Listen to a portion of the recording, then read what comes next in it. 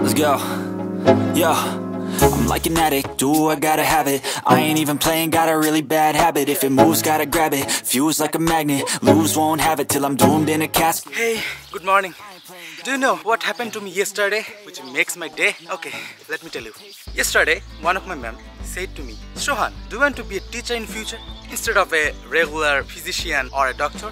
I laughed and said, why you asked ma'am? I was shocked till she said, instead of practicing as a doctor. In future, you may be a teacher. You can teach the students medical school. Instead of practicing as a doctor, you could be a teacher in future.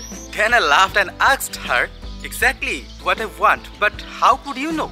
She replied, you explained so well. I noticed how the way you explain and how the way you're using gesture to explain.